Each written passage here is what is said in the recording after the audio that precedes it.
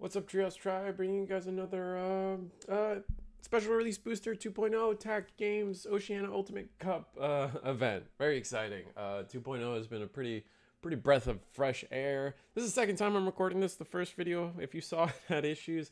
So um, we're just gonna run it back. Be, keep it simple, keep it easy, keep it light.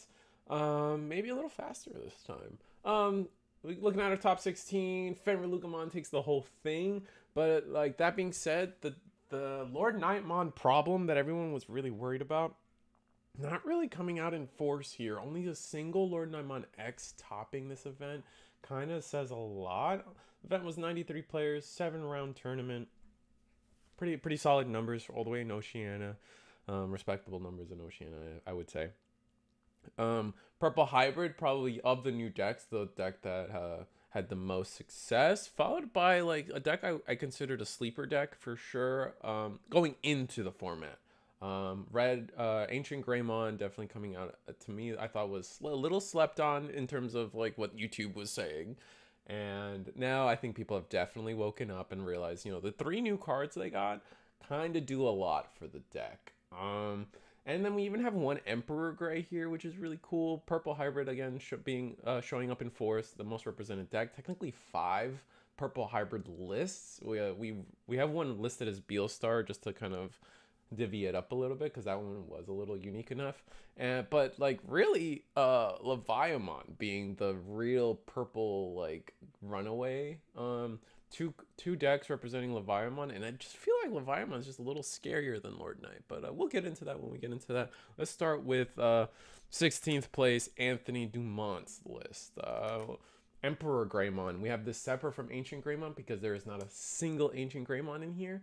Um, it's Emperor Greymon. It's using all of the new red red hybrid uh collection, spirit unification wind to flame, ice to sword shenanigans. A really interesting list. I wish I wish we I could try like I wish I was good enough to figure out a Magna Garurumon list that was good enough to top 16 something. I just I feel like the yellow stuff doesn't have the fundamental like baseline support that red has. Stuff like, you know, Aldamon and stuff like having a rookie that can you can evo on top of is just the little things like that really push red just a little bit higher. That being said, not a single Susanomon in sight. We are just pure red aggression here is really cool. Um, the interesting notes from me is like we're we're favoring the Kaze. We're fav- we're figure we are favoring the Zoe side. So we are four Kaze, three Sylphie or uh, Zephyr, four Jet Sylphie, four Zoe, even cutting Tommy down to two and then uh, Takuya Koji at four. That is something interesting. In my testing, I was like, maybe we don't play this at four, but here we are. Uh, Penguinmon here as a rookie is really interesting because because we are cutting on Tommy, we need more blue. So we need more oh more consistent blue source, and we see it in Penguinmon, and we need the blue source for uh, wind wind to flame, ice to sword, and that that that's the Emperor Greymon. I mean, the Emperor Greymon is a really good boss monster. Combined with the Takuya Koji, you can get four checks in a single turn, depending if you were able to attack into something or not, which most of the time you might be able to because it does. Uh, so this on Digivolve does suspend something, so you have to be a little reactive. It's a little based on your opponent, what like your opponent. You have to play. Your opponent has to play into it, which means sometimes like they have Digimon on board, man. And then the source stripping is so good and, and very disruptive and very just good, man. Very strong. Um, that being said, uh, no, very solid list, 16th place. Congrats, Anthony. Then we have to talk about the only Lord Knightmon list that uh, that was able to top uh, Alex Downey, 15th place. Um, we're running things like the Bastemon. We're running, uh, actually making room for one of the Garurumon X antibodies. Rest in peace, Gabumon. Uh, as a Garurumon player, man, I just it hurts that Garurumon's so close to good, and then Imperial just shuts it down, man. Sucks. Anyway, that being said, just you know, just kind of what we've expected from uh, Lord Knight over over this development here. Uh, four four boosts, four trainings, just being just wanting to just sit on a rookie in the back and then just do everything in a single turn. The only problem is I feel like people are wising up and they're being punished for it, playing more floodgates, playing playing both floodgates. Uh, can't reduce evo cost and can't gain memory. Uh, really slow this deck down. And uh, Lord Knight is also kind of fragile. Um, if you're able to delete, get rid of their first board, it takes them a, it takes them probably too many turns to remake that board. Even, th- even think about remaking that board. You're probably uh, losing the game by the time they can actually establish a new board again. So depending on how much memory you give them. Uh, and then three protoform, one of the X antibody. My my mean side, the mean side of me always wants to ask: Is this a is a is this a wallet decision or is this a uh, actual tech decision? I want to say it is a tech decision because sometimes you do just want to attack with the Lord Knight, go into the X antibody and do some shenanigans, but uh or or any any of your other other uh X forms, just attack, going to Cerberus isn't a bad bad play as well. Um, that being said, uh, no, congrats, Alex. A little fast because this, this, is like my second time doing this. Uh, to talk about the only Imperial that was able to top. Imperial is still a very scary deck. If they get this turn two Paildramon combo, there's just nothing most people can do. It's just so gross, so much power in a single turn, and just defensive structure as well. Being your whole opponent just essentially missing out on two turns, like it's it's so gross. Um, that being said, and, and then, then yeah, being able to chain Paildramons is so annoying. Like this thing, I feel like this thing should have should have said like the things it suspended can't unsuspend. Um, like the fact that it's just this global effect probably is just a little too pushed. That being said, Tyler, 14th place, Tyler Chin's uh, Imperial list, finding room to play the starter deck Dragon Mode. The Dragon Mode just allows for some really gross turns, especially if you have the memory for it with a Return to the Primogenitor one Paildramon from BT12 just to kind of mix things up, keep things a little different, and then on top of that, uh, a BT12 fighter mode. Um, but that being said, oh no purple Wormmon, man. I'm joking. Your list is great.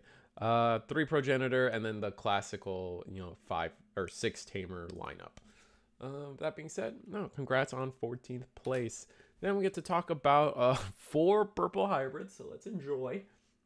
Um, this is this one will be Hamish Hamish Redcliffe, uh, 12th place purple hybrid, and this is like baseline purple hybrid, and that is what I am doing. Um, there's no, I wouldn't say there's any like tricks, but man, are we playing security bombs? We are playing four, five, six, seven, um, 13 just like security value options, and then an and then another 11 tamers. So what, what was that? 20 like that's somewhere north of like 25 26 i can't do the mental math right now.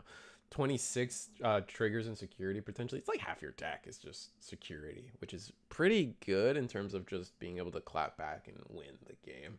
Uh, notably we're on the merva uh, top end. That way we have the merva like the merva sure can give things rush or retell or whatever especially if like Kaiser, so the Kaiser Leo can digivolve on top of something, and now you have Retau.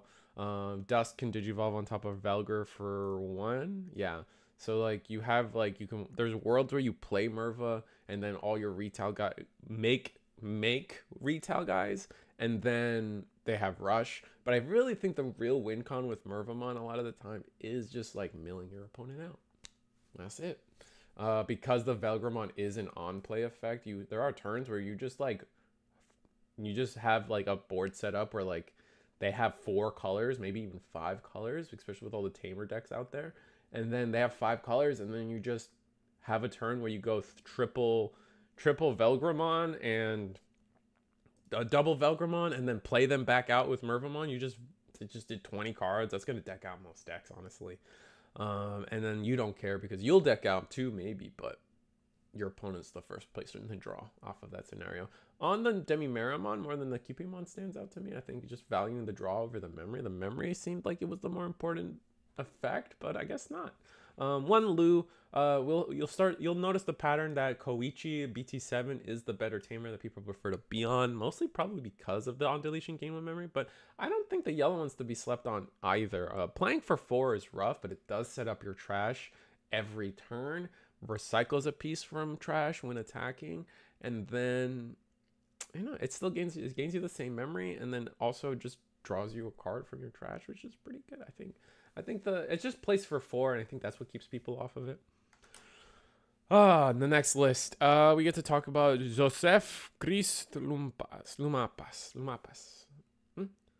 Uh, we're playing the yellow top end, so we're playing a lot more of the yellow stuff in this version. Uh, still maxing out on Ukos, actually making room for Takuya Koji, just allowing us, uh, kind of forcing us to have more Leo, Loe, and Kaiser on the list. But now at least we're not on. If you saw the previous list, we were on what, ten champions, maybe nine. I know that we maxed out Velgor, we maxed out Loe, but not or Dusk, but not like one or two Kaisers. So we had ten champions.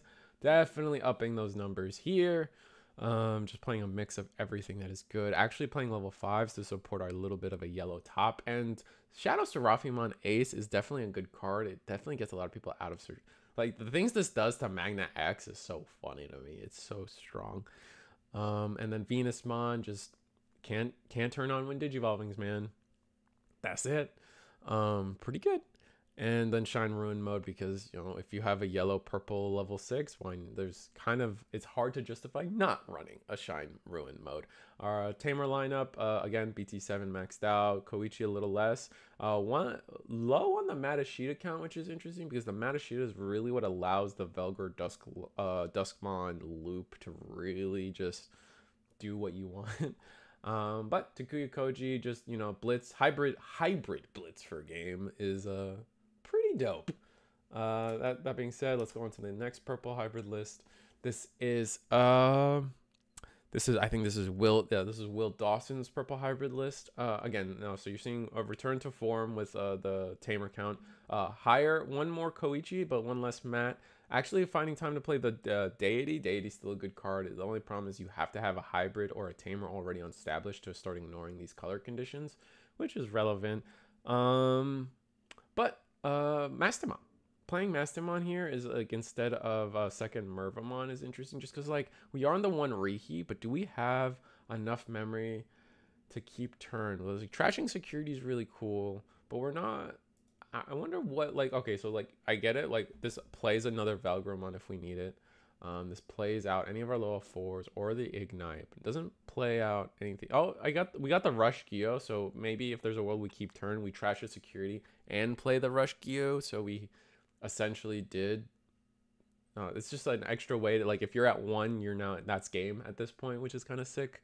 Um, some interesting, and even playing Deathclaw to delete our own stuff is is, is interesting as well. I, I see a world where you like, um, uh, like I see a world where like you Velgramon turn their guy purple, use their guy to delete something on board, and then now you can Deathclaw your own Velgra, still get all the value you want, delete something else, I guess. Um, it's just it's interesting stuff. Uh, no, congrats on eighth place, Will. Then we get to talk about uh, Jeffrey Yang, different Jeffrey Yang's list. Uh, again, a little a little bit of an in between. Uh, we're playing Argomon, which is a huge, huge counter counter card for uh, for uh, versus tamer matchups. Just suspending all and all your opponent's tamers, um, or at least up to five of your opponent's tamers to re- to go into your level 5 for free is kind of busted and then it has the effect that none of your opponent's tamers can unsuspend just period that just crushes the mirror i imagine um they really they essentially you skip their turn for almost like two turns or something depending on how it all goes but that that's rough. I can see i can see maybe that's why like something like deathclaw really helps you get around that. And then we're actually even introducing deltamon. Deltamon is probably gonna is probably an all-star card to come out of for a common this card is crazy. On play when did you vote and deletion every purple deck is like trying to find room for this thing. It's and in your list. You just always have a reason to be playing it. Playing our floodgates makes sense. Uh, one of the kaiser just to have a body for retail that just always has rush off of merva makes sense. Reheat just evoing into your fives for cheap will always be good in this game. Um and no, Rivals Barrage, Miss Memory Boost, playing, finding time for Lu and AG. None of these lists were running Lugamon, and then this is the first list to actually even have AG at all. Is an interesting shift in what Purple Hybrid is doing, but hmm. and we actually upped our Cupidon count by one, which is fun. Then we got to talk about probably the most unique Purple Hybrid list. Um, Mother Hybrid Beelstar Shoto Purple.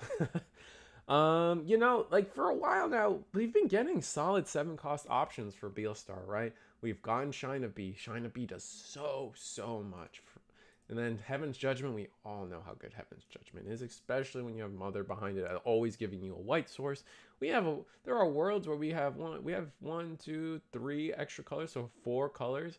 And it's just really like this Shoto Kazama allowing uh giving us access to not only just Heaven's Judgment, but Shine of B because of Heaven's Judgment's alternate condition. Like this one card is given Baelstar access to uh, off color seven cost options, and it's it's just allowing it to have that extra strength now.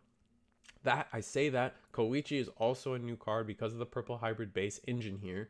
Also gives us access to Heaven's Judgment as well, obviously. But then Violet Inboots, unironically, is one of is just a tamer that Baelstar has been missing. They've been wanting a memory setter, and Matt is great and all, but being able like all Matt Matt sucks like turn one, turn two when your trash isn't even set up.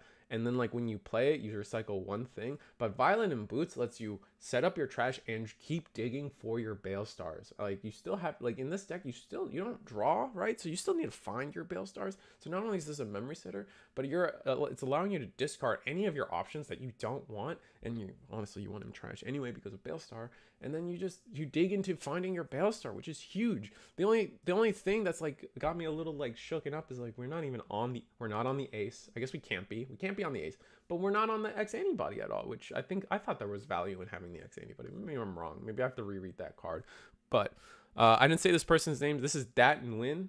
Uh, sixth place uh Baelstar purple hybrid list. Really cool, really interesting, really exciting to see. Uh, as much as I hate Mother Shoto stuff, I kind of would rather it banned, but whatever. Uh, Ancient Gray. Actually, talking about Ancient Gray. Ancient Gray being one of the decks I thought was slept on on the lead up to 2.0, but now that we've had a couple 2.0 events, people definitely have woken up, and it's off the back of three cards. I feel. Um, two of those cards being represented in this list. This is Willick Hong's uh Huang, Huang, Huang, Huang, tenth place list. Uh, Gigasmon and Takuya Koji. This uh, two card combo here is just like it is gross. It is a it is a at all it off of the back of the purple purple red ancient Greymon, you can play the like you can play the Takuya, which gives you blitz, and then the Gigasmon gives you rush. So now you can as long as you keep turn with uh, after the on deletion of ancient gray and anal- and analog youth like kicking back to to your turn you just have blitz hybrid for game at all times as long as you win into the red purple uh, ancient gray which is disgusting um actually including one of the uh, new Agumons that lets you recycle a piece from trash very valuable effect don't get me wrong and it digivolves on burning gray for zero which is relevant in the sense it's it's relevant in the case of it's in relevant in the case of just digivolving up a line and now you have more sources for the old ancient Greymon because we are on high speed plugin. This is our answer. I imagine our answer to mother is to just go up the stack. Excuse me. Go up the stack. Go you know 10 checks with ancient greymon unblockable and then end it with omnimon unblockable if you have like with the one boost and maybe some of the memory. Um really cool. Ancient greymon is now a mainstay and i wish just makes me wish that like the koji hybrid stuff didn't get swapped to yellow because just um and then this is a very similar list. Uh this is the same list twice? Hmm Mm, maybe they do have the same list twice. Let's uh editing Risu here. Uh let's go back. Um let's make sure I didn't get this is Daniel's. Oh no, Daniel's okay, so this is Daniel's list. Sorry. Daniel's list is a little different, I think. No. No, it's actually the same. Are Will and Daniel on the same list or did I just get this wrong? Um Huh. This is Daniel. This is Will. A little bit of live commentary for you guys. Looks like we have it as the same list. You guys let me know if they actually were on the same list or on different lists. But that's what we have on egmanevents.com. So if, if it's wrong, correct us. Um, but yeah, Will and Daniel on the same Will and Daniel on the same list. Yeah, that's that's what we have. Um, let us know. Let us know if that's uh, that's wrong or not. But that let us move on. We'll talk about uh Will, great list. If you guys did work together on that list, that's really cool, Daniel and Will. But if, if it's different, we'll correct it. Uh, just let us know. If... Sorry. Uh, anyway, this is fourth place, Dane's list, and I'm pretty sure this is DigiDane. So congrats to him. Congrats to uh, I, I watched some of his tournament stream. Funny enough, um, uh, I try to support the homies, you know. Um, but no, uh, you see the differences here. We're actually on Grav Crush and Atomic Inferno, making room for the Lu, and then our Ancient Guardian Deity as well. Actually, even finding room to fit in this BT7 Takuya, which I'm sure he's got a video. But check out his video. Um, Takuya, this Takuya, I feel like is falling out of favor, right? Because just you're never getting the Emperor Greymon effect, and then this one gains you memory, which is kind of sick. Um, but a key point is probably the sec plus one probably comes up a lot, especially if you go full into this ancient. Doing this ancient doing three checks instead of two probably changes some turn math really well.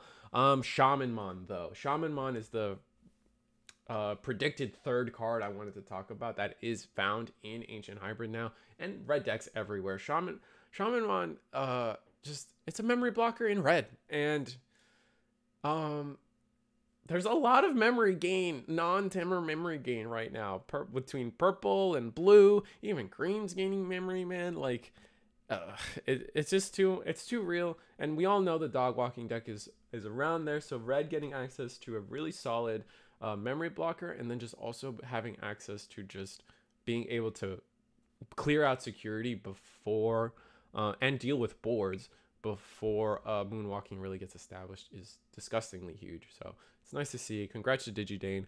Uh, fourth place. Check out his content. Check out his video on his own deck list. Um, hear it from the horse's mouth because obviously they know why they did what they did more than me. I'm just, I got Eggman links. then we get to talk about uh, Leviamon. Leviamon, we had two topping Leviamon X's. This one's fifth place. Dylan Trans, um, Leviamon list. Uh, has Lord Knightmon X as a top end, playing three Protoform, uh, two Leviamon, two, three of the X antibody, playing Drago. It's just, you know, everyone had their eyes on how good Lord Knightmon was going to be. But I really think, even coming out of EX7, I came out thinking, like, man, Leviamon is a really good deck. Uh, it's just being able to delete in the way that it does is just so strong. And then Leviamon X just allows for way more stuff to happen. And it's just, whoo, man, is it? A, it's just a strong card, man. All both of these combined do so much damage to a board. It's just, it's it's rough. It is hard to deal with. Not many decks can, and you know, I feel like they often lose to themselves more than anything else. I mean, maybe they lose to a security bomb is their biggest issue, but man, and then we see Deltamon, Deltamon again being, and then the Dark Animal engine just period, just being here is really interesting and cool. Um, Seventh Lightning, Binding Crush, still two very strong cards.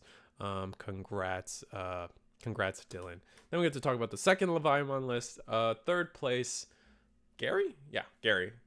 Um, actually running a little bit heavier into the Gabumon, Garurumon stuff. You got a little bit of the two of a starter deck uh, Garurumon, and then a two of of the Gabumon uh, um, starter deck as well, and then one one of the one of the ban cards as they're as the, as I like to call them. Four Protoform, two and two in the Binding Crush, seven Lightning. Only two boosts, but four trainings. Makes sense. Uh, not many decks are really running the can't reduce Digivolution cost. Uh floodgates, but people might start wising up, especially with how eyes are on purple right now.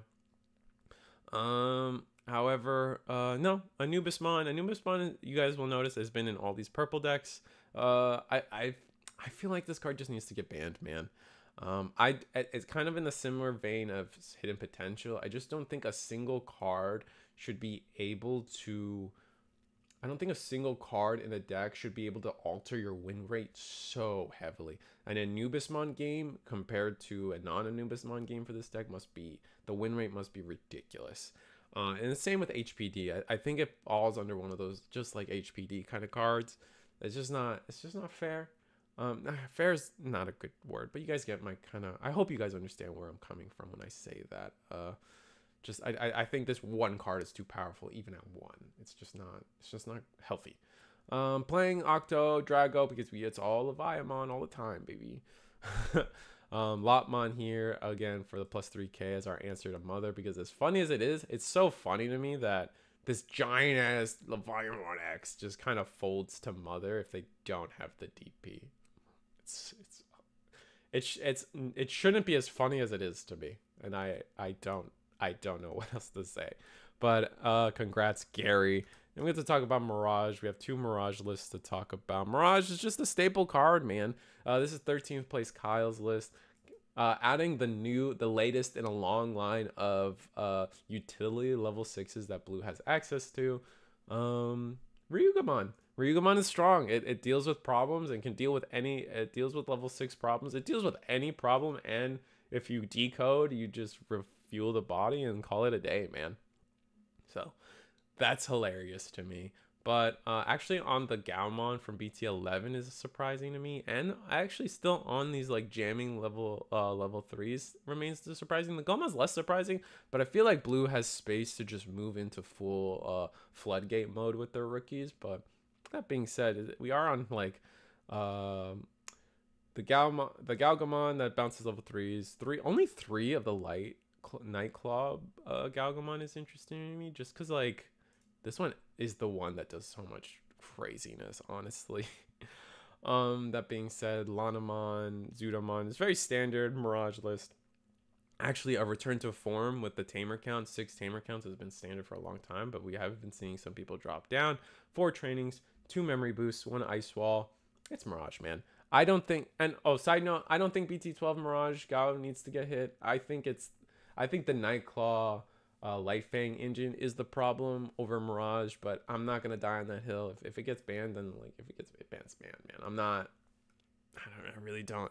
To put Mirage on the same level as an Anubis or a Apocally is insane to me personally, but not hating. Um, and then we get to talk about our. Uh, this is a higher place. This is second place Marcus Villamore's uh, Mirage list, and this is what I was saying. Like you have room you have the potential because you have so much jamming elsewhere and other things to um, just have floodgates, man. Just play with floodgates and keep them. Uh, also, the Bukomon, the, the, previous list wasn't running the Bukomon, I don't think, but for Bukomon, so we can play, just play stuff and gain memory, which is really good. Hexblow being such a good uh, utility level 6 in the deck, allowing us to get over things that, you know, we probably shouldn't normally is really good. Uh, Mirage, again, I, I think it's a fine card. I think people, it's just, it is what it is. Uh, MachGaogamon, Hunku, playing the new Hunkumon that has an on play. It's funny that this deck is running playing the new Hunkumon, but not the not the previous list that's running the Ryugumon. Uh, because this one actually has an on play, so can't be deleted by your opponent's. Uh, it can't be deleted by battle. One of your Digimon can't be deleted by battle, which is huge. And then the inheritable this Digimon's attack can't be changed is huge. And it also just because we're running this, it justifies not running uh the other one. But sorry, the uh the MachGaogamon that doesn't get redirected as well. Um but that's being that being said, it's a really good list. Thank you, Marcus. Second place. Congrats to your success. I'm I just I'm not I'm not a Mirage hater. Oh, but we are lower on the tamer count to max out on our searchers, which is yikes. But sometimes you only need the one tamer. Just gotta get there. Then we get to talk about Jordan Wheatley's first place list, Fenrir. And I want to be excited. Woo! Fenrir. Fenrir's a good deck. I love Fenrir. I, I miss the old Fenrir. I'm not a fan of Tamagotchi mode, to be fair. Um, I wish I was, but I'm not. Um, but I I just feel like Fenrir has been solved at this point. I mean, I feel like this is just kind of similar to many of the lists we've seen before. Maybe a slight difference in the Uko uh, Red Lugamon count. One less Skullbaluchi. I see more people run too, but definitely there's been a trend towards playing Hellugarmon again as a as a really good way to do things for the deck. Uh, analog youth at four, five tamers, two of the demon castle. Not even playing trainings. I feel like is kind of become the the norm for Kazuchi. Three Tamagotchi modes four Fenrir Lugamons. Uh, on the door, Goromon package is really the biggest choice you have to make as a Fenrir Lugamon package or Fenrir Lugamon player. Are you going to play the Lugarmons or are you playing the Doru stuff? The Lugarmons give you more memory. The Dorumon stuff kind of get like for the most part give you more consistency is the way it's looked upon, I would say. Um, and I think it's a fair and it's a tough choice because we've seen success from both. Um, it's just I think the Dorugamon package has had more higher success, if that makes like winning an event, for example. Um, but that being said, Jordan, congratulations. Um, this is a this is a re a reshoot, a re a retake of this video, so you guys know how it is. Um, egmanevents.com check us out um, i've been really busy lately you I guys have, have you if you guys have seen uh, i've been streaming um, the eagle event i've been streaming a bunch of events lately um, and it's really cool that i've been able to do that i know the europeans are waiting for their top 16 lists for their ex7 event i will get to it i promise i just am busy and i'm lazy and i'm human and i do this for free Um, I do this for the fun of it. Remember, like, if there's one thing you remember about Risu the Squirrels, he does it for the fun of it. He doesn't do it for much else.